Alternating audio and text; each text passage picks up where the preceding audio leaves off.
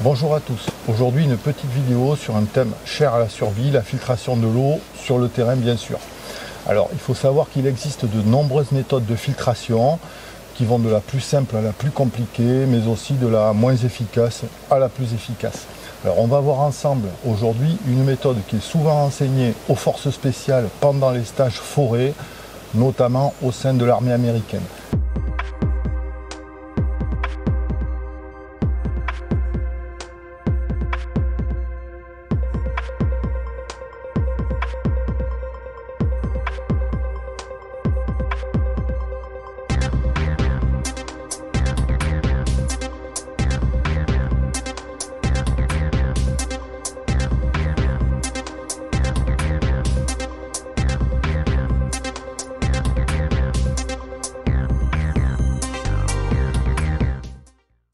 Lorsque vous approchez d'un cours d'eau, comme ici, cherchez une zone où la berge est assez basse pour vous faciliter le travail.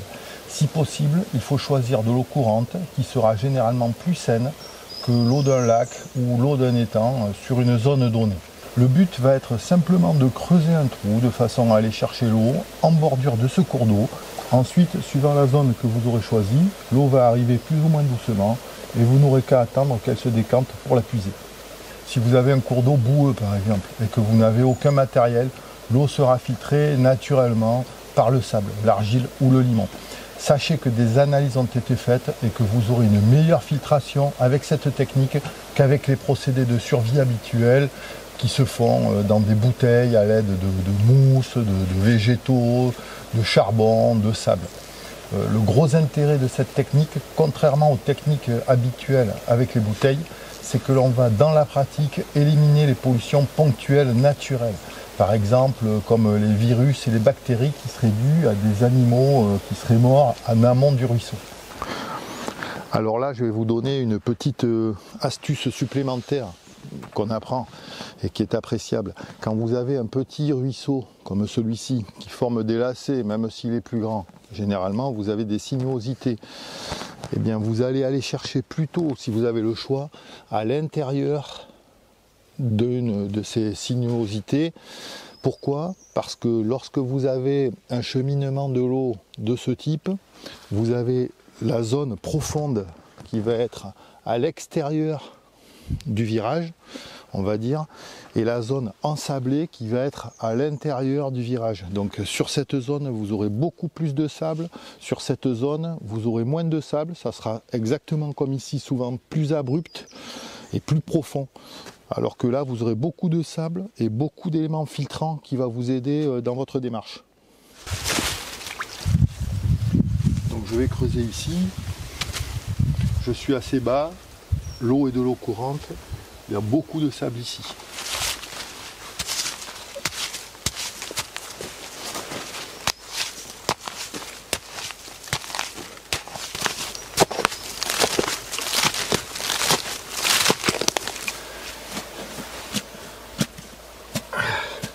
Donc là, à vue d'œil, je suis déjà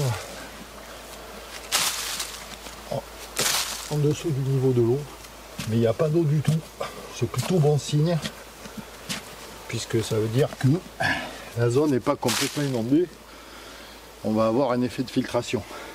Donc là, vous voyez, là, on est un peu plus bas que le niveau de l'eau. Et euh, donc il n'y a pas d'eau du tout. Je vais creuser un petit peu plus quand même.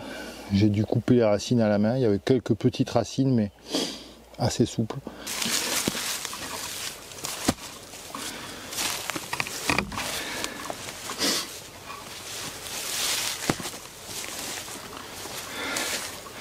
Ah, je vois que ça devient un tout petit peu humide. Ça fait 5 euh, ou 6 minutes.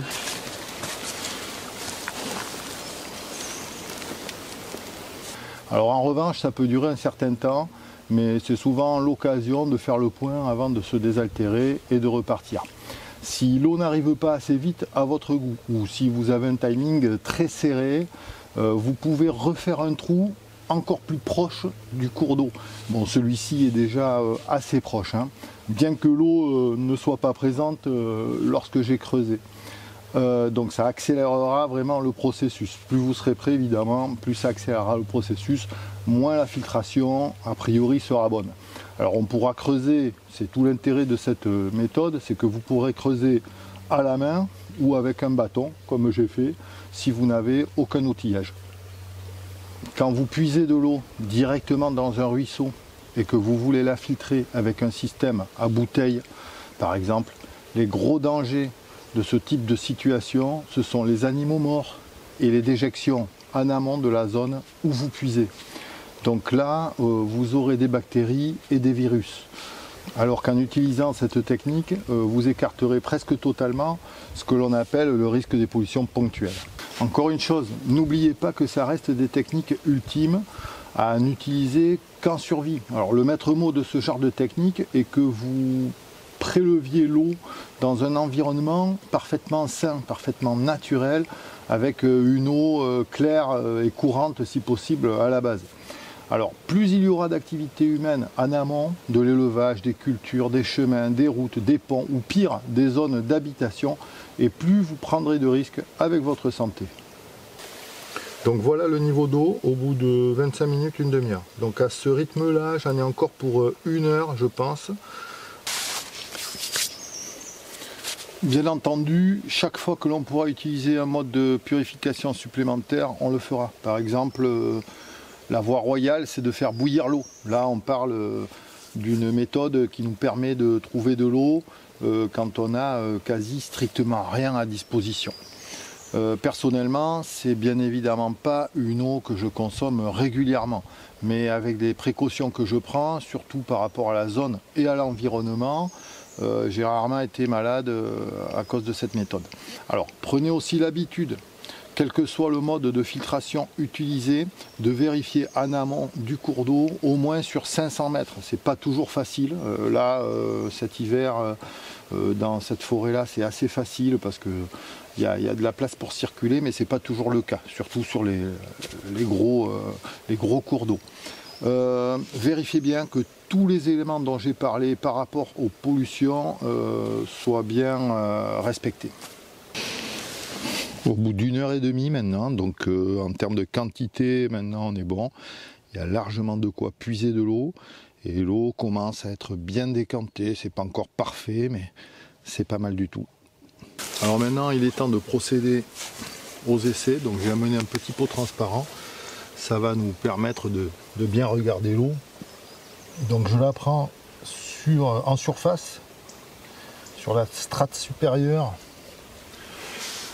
Alors, euh, il y a quelques y a quelques flotteurs, elle est un peu trouble, mais ça va, elle commence, là ça doit faire deux heures, elle commence quand même à, à décanter.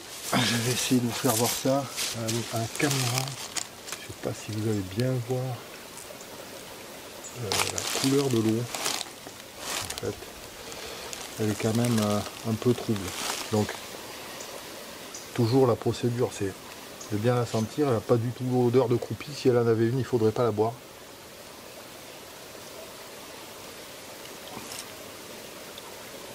Je sens même pas l'argile.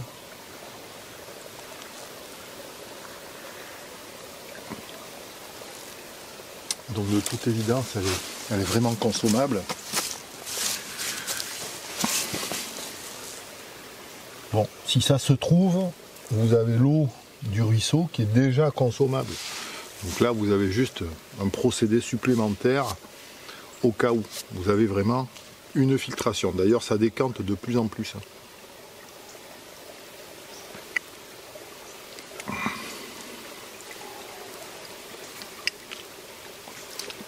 Voilà, elle est très bien. Voilà, cette méthode a le mérite de la simplicité et de l'efficacité tout ce que l'on demande en réalité aux techniques de survie dans de vraies conditions de survie. Euh, c'est un secret que j'ai emporté avec moi et que vous pouvez maintenant emporter avec vous. A bientôt pour une future vidéo.